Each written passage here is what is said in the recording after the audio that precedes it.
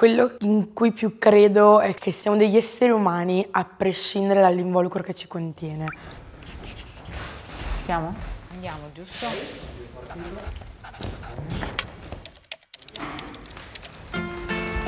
Vai Franci, siediti te. Grazie.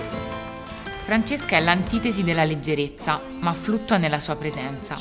Coraggiosa nella risata come nei colori. Bella come solo il coraggio può truccarti. Francesca la senti, è tiepida e liscia. Francesca è nettare che sa di marshmallow, olio per capelli e fiori preziosi. Quando ho pensato ad Uncover, uno dei primi volti che mi è venuto davanti è stato il tuo, per tutta una serie di motivi, ma soprattutto per il sentito che io ho avuto nei tuoi confronti quando ci siamo conosciute per la tua pelle, per la tua vicinanza proprio in realtà. Io ho, ho veramente la sensazione di, di, te che mi trucchi perché così ci siamo conosciute e di sentirmi a casa dentro quelle mani, non so, la tua accoglienza come persona, nella tua pelle, nel, tuo corpo. Andando poi a, a, guardare nel tuo profilo Instagram, mh, mm, non avevo seguito e mi è venuta fuori la campagna che hai fatto, Don't be shy to shine. A un certo punto trovi il tuo coraggio di brillare sì, è stata una campagna abbastanza intensa, più che da un punto di vista proprio della realizzazione del mettersi in gioco, proprio il coraggio di metterci la faccia, un po' in quello che dici, in quello che porti avanti, in quello che professi, passami il termine, di finalmente dire sì, lo dico, ma lo faccio anche. Quindi dare un'immagine, un impatto molto visivo alle tue parole credo che sia un seguito pazzesco, però è stato intenso, tanto. Cioè, da quando me l'hanno proposto a quando ho detto sì, i sentimenti, le emozioni sono state tantissime e molto contrastanti. Momento quando i miei colleghi me l'hanno proposta, ho detto no raga, cioè, non sono la persona giusta per, per farlo. E lì si è cominciata una serie di perché non sono la persona giusta per farlo, di ma perché non lo vuoi fare, cosa ti blocca, di cosa hai paura, cosa invece ti spingerebbe a farlo. Quindi è stato tutto dietro un processo di parlarne con loro, di parlarne con la mia famiglia, perché comunque era un aspetto a cui tenevo tantissimo, non perché io debba avere la loro approvazione, ma perché sono molto interessata al loro parere, certo. quindi avere il loro ok, il loro essere sereni su questo punto di vista e poi avere il mio ok che è stato l'ok un po' più difficile, che ha attraversato varie fasi di ma quali saranno le reazioni degli altri, come mi vedrà la gente con cui lavoro, come mi vedrà la gente che mi ha vista crescere, quindi cioè, tutte le persone che compongono il mio mondo, cosa diranno di questa cosa? E sono stati tantissimi pensieri. Poi a un certo punto ho detto, beh sì, Vado. basta, cioè, sa da fare, così è e così sarà e poi devo dire che è stato veramente intenso il giorno in cui è stata scattata e le emozioni arrivate dopo, quando poi la campagna è stata pubblicata, sono state tantissime e fortissime. Certo, immagino. Nel tuo profilo Instagram parli e scrivi di eh, quello in cui credi, dici proprio io sono Francesca, mm, voglio lottare per quello in cui credo, non mi interessa se mi chiamano cicciona perché effettivamente lo sono. Mi viene da dire in cosa crede Francesca, qual è il tuo punto fermo? Quello in cui più credo è che vorrei trasmettere alle persone è che siamo, siamo degli esseri umani a prescindere dall'involucro che ci contiene. Siamo emozioni, pensieri, azioni, come ci rapportiamo agli altri, quello che facciamo, siamo tutt'altro rispetto a quello che mostriamo agli altri. Quindi è bello avere un bell'involucro, sicuramente, e viviamo in una società in cui se sei bello sei privilegiato, certo. nella maniera più assoluta, però tutto quello che c'è dentro compone la tua bellezza, che sembra una frase un po' scontata, un po' fatta, però avendo avuto a che fare anche con tantissime persone nella vita, andare oltre le apparenze che ti bloccano spesso, che ti fanno dire beh ma questo mi sta simpatico, questo mi sta antipatico, questo è brutto, questo è bello, questo ce la può fare, questo non ce la può fare. Abbattere la prima barriera e capire le persone, dargli una possibilità a prescindere da come si presentano al mondo. Cercare di capire cosa hanno da dirti, cosa hanno da trasmetterti. quello credo che sia una delle cose più belle che tu ti possa regalare e che possa regalare agli altri. Ed è una delle cose in cui credo assolutamente di più.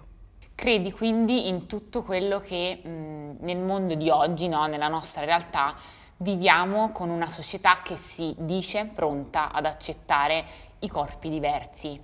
Parliamo di, di, tutto questo mondo che ci racconta che il mondo del FAT è assolutamente normale, che dovrebbe esistere una giustizia sociale nei confronti di tutta questa roba qui, ma poi molto probabilmente non è davvero così, ci raccontiamo una bella storia, mi viene da dire, no? Perché se te ad oggi mi dici che siamo altro oltre il nostro involucro, molto probabilmente se vivessimo in una società che non ci fa pensare all'involucro come diciamo che non dovrebbe essere, questo pensiero non ci sarebbe, no? Assolutamente no, è un credo, è una cosa in cui credo fermamente e che cerco di trasmettere perché la società non è per nulla pronta all'accettazione. Si fa tanto sui social, in tv, si è sdoganata la parola curvi, che vuol dire un po' tutto, un po' niente. Cioè, io lavoro nella moda, nella moda la parola curvi è una modella fatta bene, con le curve al punto giusto, che però viene considerata normale dalla società. Cioè, certo. una modella curvi fa una taglia 46, io non faccio una taglia 46. E la gente continua a guardarmi non male, ma strano per strada. Perché non è un corpo normale il mio, perché è normale essere una taglia 40, perché è socialmente accettato essere una taglia 42, essere una taglia 52 fa storcere un po', un po' il naso. Si fa tanto, ma credo che non sia ancora abbastanza, perché se io ad oggi sto bene, non vuol dire che è sempre stato così e non vuol dire che non ci siano ancora stimoli esterni dopo un passato che mi ha usato abbastanza come pungible. Certo. Quindi ho imparato a reagire agli stimoli degli altri, ma non tutti riusciamo ad imparare, non tutti ce la facciamo e non è giusto essere privilegiati o meno per i chili che si portano addosso. Nel tuo corpo, che riconosci assolutamente come diverso, passami il termine, ti piacerebbe o ti potrebbe aiutare di più eh, il fatto che sia riconosciuto come diverso e accettato oppure credi che sarebbe migliore l'idea ehm, dove veramente non c'è differenza, dove nessuno in giro per strada ti guarda in un certo modo? Secondo te la normalità, l'accettazione dove sta? Secondo me l'accettazione sta nel pensare che siamo tutti diversi. Perché è inutile dire no vabbè ma siamo tutti uguali, siamo tutti diversi chi perché ha dei chili in più, chi perché è più alto, chi perché è più basso, chi perché ha i capelli rosa, chi perché ce li ha castani. Quindi per me la normalità dovrebbe essere l'accettazione della diversità, perché la diversità c'è, esiste, siamo tutti esseri unici. L'accettazione di ogni individuo per quello che è e non per quello che mostra di sé. Credo che sarebbe la cosa assolutamente più bella dal mio punto di vista. Senti Franci, parliamo di accettazione mh, mm, dal punto di vista di chi sta fuori, delle terze persone, della società nei tuoi confronti, no? Poi c'è l'accettazione di te stessa. Io mi dico sempre che in fin dei conti siamo chi siamo quando rimaniamo soli.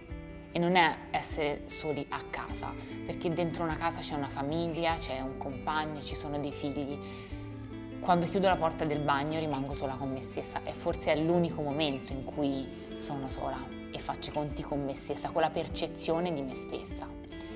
Com'è quella percezione? È cambiata negli anni e non è stato facile. Credo che accettarsi e non farsi accettare è il passo più difficile. E accettarsi per me non vuol dire sono grassa e vado bene così, non devo fare nulla per migliorarmi.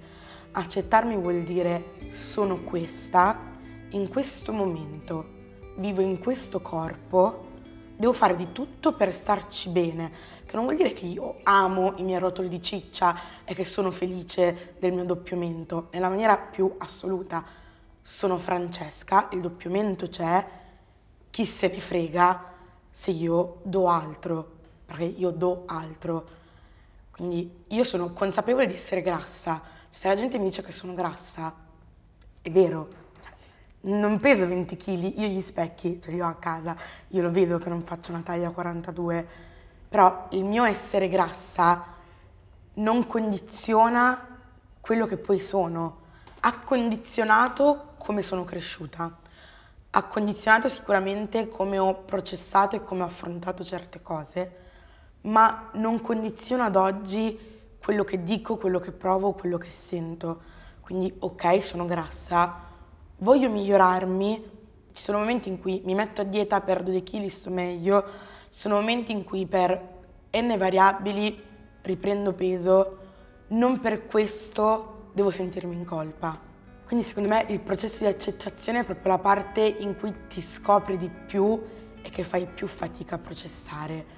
Cioè la parte più difficoltosa perché non è che un giorno ti alzi e dici beh, sono grassa, che bello, io mi amo così. E sono grassa, mi rispetto, perché sono un essere umano, al prescindere dall'amarsi, devo rispettarmi. E questo secondo me è il punto fondamentale. Hai detto una parola adesso che mi, mi, fa venire in mente una domanda alla quale se hai voglia mi rispondi, se no andiamo avanti senza nessun problema. Hai parlato di amore, no? Io sono da quest'altra parte e è inutile che ti neghi che mh, mm, parlando con te, quando si parla di intimità, di tutta una serie di cose, noi ci siamo parlati anche in altri momenti, no? eh, esiste tutta quella sfera del sesso, del, dell'intimità, quello che viviamo un po' tutte, perché in realtà tutte abbiamo il problema della nudità, il problema del gli piacerò abbastanza, non gli piacerò, in questa maniera va meglio, in questa maniera va peggio. È la stessa cosa per te, è un, un fattore elevato alla potenza, è qualcosa che, con cui convivi da sempre. Cosa succede? Il motto principale è chi se ne frega. Nel senso che arrivato a un certo punto, proprio perché mi rispetto, io sono questa e una persona con cui sto deve rispettare chi sono, a prescindere da qualsiasi cosa. Quindi se io per prima mi rispetto, esigo rispetto agli altri, Ciò fa sì che le persone con cui mi relaziono siano pienamente coscienti di quello che troveranno una volta tolti i vestiti. Certo. Le ansie ce le abbiamo tutte, cioè l'ansia di spogliarsi, l'ansia dell'intimità, della nudità, del rapporto intimo con un'altra persona. Credo che ogni donna ce l'abbia, il problema della luce accesa e della luce spenta, penso che una volta nella vita sia passato più o meno per tutti, però a un certo punto dici chi se ne frega eh, non sono uscita fuori da nuovo di Pasqua e non sapevi cosa ti si sarebbe presentato stasera a certo. cena, Era, eri pienamente cosciente che arrivava una persona che ha un certo peso, ha delle certe forme ed è così. Per carità, i vestiti nascondono, mascherano, io poi amo cambiarmi, amo vestirmi, quindi sono pienamente cosciente di come far sparire il rotolino, di come accentuarlo, di come essere un po' più scollata, però lo vedi come una persona. Quindi se tu per prima rispetti te stesso e cerchi rispetto in un partner, credo che certi limiti cadano un po', cioè te ne freghi tendenzialmente. Cioè, eh, io ripresa dal basso sono decisamente più brutta, eh, però amen, cioè nel senso purtroppo non è un set, non c'hai le luci, non c'hai la videocamera, non ti puoi girare a farti il selfie nella maniera migliore, ci sfacciamo un po' tutti e amen, va così, te lo godi. Parli di tutta una vita, no? Uh, prima dici oggi le mie forme, il mio grasso ha cambiato come sono cresciuta mi hai raccontato di aver vissuto come viviamo tutti, in questo penso che ci sia abbastanza giustizia sociale, il discorso del bullismo, del, um, dell'essere presi in giro, di un, tutta una fascia di età che non ci risparmia dalla sensibilità che magari si spera di trovare man mano che le persone crescono. No? A un certo punto scappi, mi hai raccontato della scuola di Sciacca e vieni a Milano. Mi piacerebbe sapere, no? quando pensi alla all'arrivo a Milano. Quello per te è stato più un, uno scappare, un trovare eh, una realtà invece madre di questa tua nuova vita. Eh, cosa vedi in Milano e nella tua terra madre? Allora, vedo sicuramente di base una realtà più grande. Io vengo da una realtà molto molto piccola, da un paesino veramente piccolo e ho frequentato fino all'adolescenza e fino alla maggiore età degli ambienti dei paesi molto piccoli, molto ristretti. Io cercavo qualcosa che la mia vita in quel momento non mi stava dando. Mm, avevo sicuramente degli ottimi amici, una bella famiglia, avevo un sogno, che era quello di fare la truccatrice. E da lì ho detto basta, io qui non mi ritrovo, non trovavo me stessa. Ero alla perenne ricerca di me stessa e non riuscivo a trovarmi in quello che facevo ho scelto un percorso e un posto lontani da casa, sicuramente, sia fisicamente, ma anche proprio lontani dalla concezione di vai fuori, vai a fare un'università, fai un percorso molto regolare. Il mio era un percorso abbastanza diverso rispetto ai, ai miei coetanei, in cui non tutti credevano, in cui io cercavo di credere il più possibile perché gli altri avessero fiducia in me ma avevo soprattutto bisogno di lasciarmi alle spalle quello che era stato il periodo del liceo. Non cancellarlo, perché comunque nel bene o nel male mi ha reso la persona che sono, però avevo proprio bisogno di un taglio netto, di ricominciare, di ritrovarmi in un posto che fosse un po' più su misura. Non che Milano sia il paradiso, non lo è. La gente ti guarda male per strada comunque, io poi all'essere grassa ci ho aggiunto i capelli colorati, una personalità non proprio discreta, quindi bella impegnativa. Però la metropoli ti fa essere da un lato più isolata, che può essere un aspetto positivo e un aspetto negativo. Un aspetto negativo perché per forza ti senti più sola. Un aspetto positivo perché sei te stessa in diverse occasioni. Ti nascondi meno perché sei meno vista sei meno al centro dell'attenzione, in un ambiente più grande.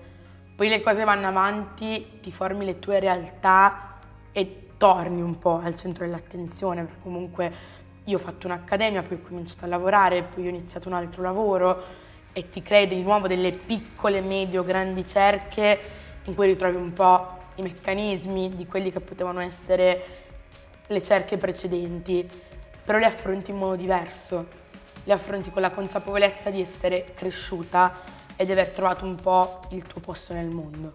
Per trovarsi bisogna scomparire, no? Sì. Che, che solo con te stessa ti ritrovi, qualsiasi sia la tua dimensione. Devi, devi perderti, perché fin quando sei alla ricerca, in un posto che consideri casa, con le persone che consideri casa, non riesci a staccare, non riesci a vedere né fuori né dentro.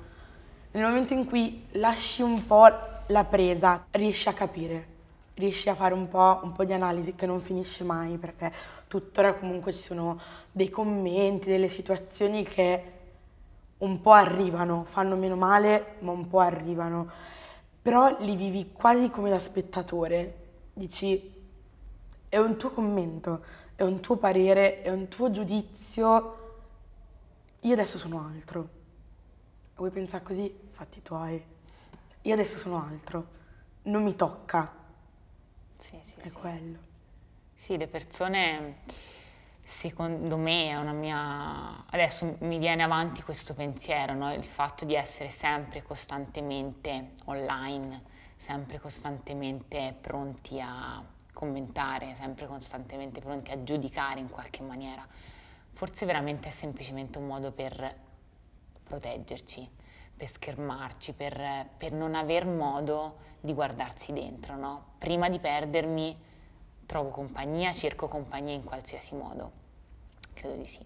Io ti vorrei fare una, un'ultima domanda che è un po' quello che racconta il concetto di Uncover eh, il, il, concetto del galleggiamento. Ho sempre pensato che il galleggiamento non sia una cosa, un'accezione negativa del termine, il galleggiamento come io mi sostengo, io sto a galla nella mia realtà. Se ti guardassi indietro, da quando sei bimba fino ad oggi, c'è stato un momento, e se sì, qual è stato, in cui hai detto ok, sto galleggiando, cioè ho preso le misure, sono, ci sono, so, so, chi sono, so dove devo andare. Credo ce ne siano stati un paio di, di momenti e si riferiscono tutti a, alla vita iniziata a Milano, perché al mi sentivo un po' annegare. Era un momento diverso e per quanto avessi una classe meravigliosa, degli amici su cui contare, una famiglia molto solida alle spalle, annegavo in me stessa, annegavo in quello che mi circondava, annegavo in quello che, che mi arrivava. A Milano sì, mi sono sentita galleggiare un paio di volte e la più recente è stata quando ho, mi sono resa conto di ciò che stavo ottenendo con le mie gambe. Quando mi sono resa conto di come la percezione, anche nelle persone che conoscevo, la percezione che avevano di me stessa sia cambiata anche negli altri, sia per quello che facevo che stavo costruendo da un punto di vista lavorativo, perché ormai quando torno a casa sono la milanese che trucca le modelle, sia proprio da un punto di vista di rapportarmi agli altri Mentre prima ero molto più insicura, avevo molto più paura del giudizio degli altri, è arrivato un momento in cui ho detto io mi espongo. Se poi arriva il giudizio ci faremo pace. Quindi è stato quel momento di dire ho trovato un equilibrio, sono riuscita a mettere un filtro tra il mondo esterno e quello che mi arriva. E questo filtro credo che sia stata la prima arma di, di galleggiamento, di rimanere in superficie e di cercare di non andare mai più giù. Poi ci sono i momenti in cui vai giù. Però saper discernere una critica costruttiva da chi vuole soltanto dare un'opinione non richiesta è stato il modo in cui ho detto questa cosa mi interessa, posso prenderne il lato positivo, farla mia, a questa cosa è veramente nulla, non mi interessa e va bene tutto il resto. Quello è stato il momento migliore ed è successo abbastanza recentemente negli ultimi, negli ultimi anni.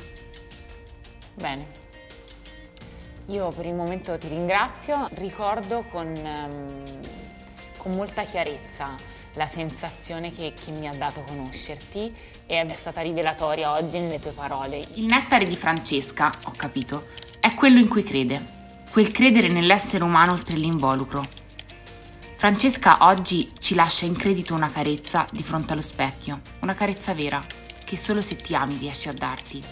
Perché esiste forse qualcuno capace di amarti più di quanto non possa farlo tu stesso?